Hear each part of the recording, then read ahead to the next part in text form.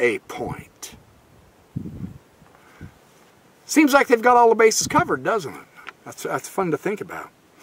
Frake continues, there's also a doctrine of Nadi Bindu Prana, which is used in a description of the subtle bioenergetic body.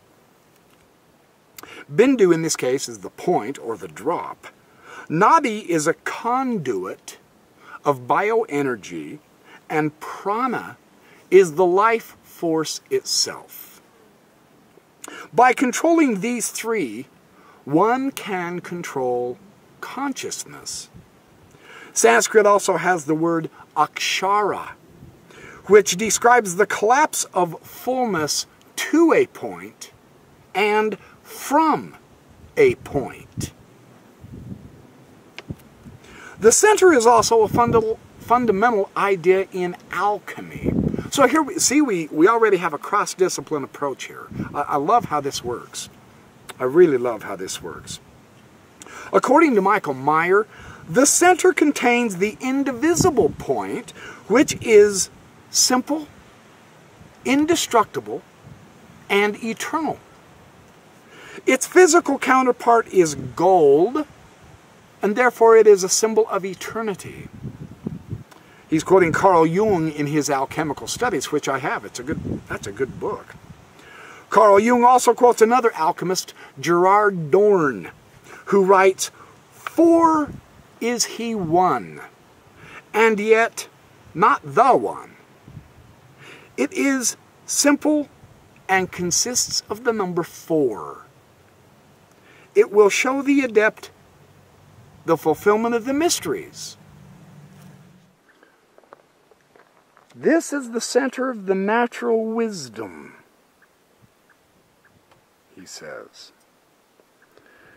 He says the circumference closes in on itself.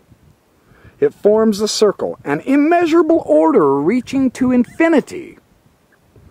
Here is the number four, within whose bounds the number three, together with the number two, combine into one, fulfills all things.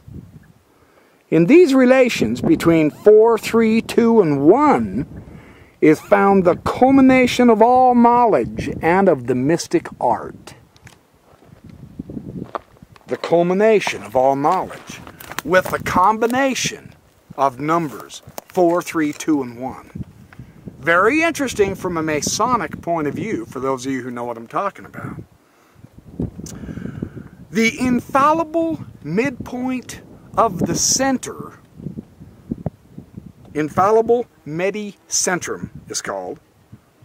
Jung adds that the one is the midpoint of the circle, the center of the triad. It is fire. The point is most akin to the nature of light. The light is a simulacrum Dei. I found further reference that applies to this symbol in the well-known Kabbalistic treaty, the Tree of Life, the Etz Chaim of Rabbi Isaac Luria. He says, at the start of its first branch in this book, is describing the genesis of the universe. Here's what we read about this, very interestingly. I hope the wind's not too bad. I'm sorry if it is. It's just that I've got such a beautiful scenery behind me that I want to go this direction. We'll see. It's talking about God. He then contracted. And this is the very famous Kabbalistic concept of the Tzimtzum, the contraction of God. He contracted himself into the middle point in the very center. Because the Kabbalistic concept is God is everywhere. And in order to give us a creation, there had to be space. And the only way that space could be found is if God contracted himself to a point and made space. This is the Kabbalistic idea of the Tzimtzum. He contracted the light and he removed himself to the perimeter, the edge, round about the midpoint, so that at the very midpoint there remained an empty space, the air and a void. Fascinating, isn't it? He, in the above text, is obviously the divine creator, as described later in the same text by Vital, who says, There is no intellect created which could conceive of him, since he has no place, and no boundary, and no name.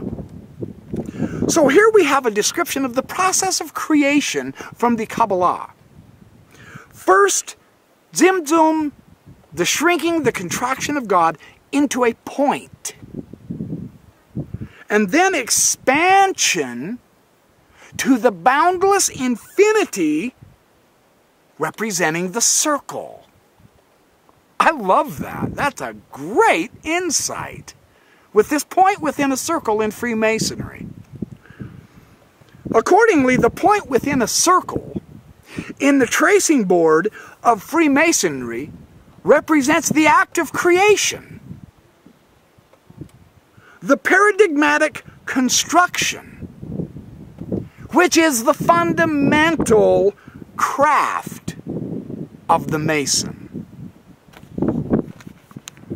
Profound insight into one of our Freemasonic symbols for you to ponder about and enjoy. I love that.